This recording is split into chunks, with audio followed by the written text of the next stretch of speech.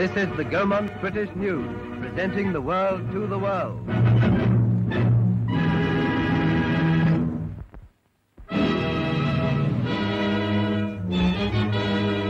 A novel honor has fallen to the lot of the Honorable Artillery Company. For the first time, a territorial unit is finding the guard for Buckingham Palace, and the HAC is chosen.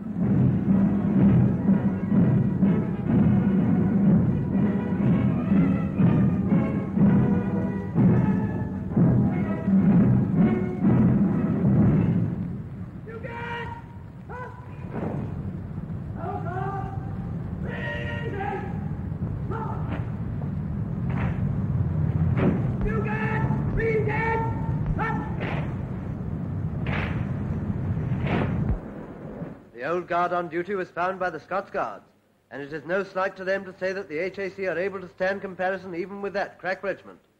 All the intricate movements of the changing ceremony are carried out with clockwork precision.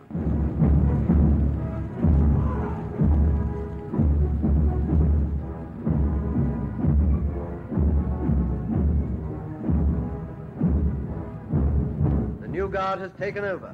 Buckingham Palace is in the keeping of Britain's oldest territorial regiment.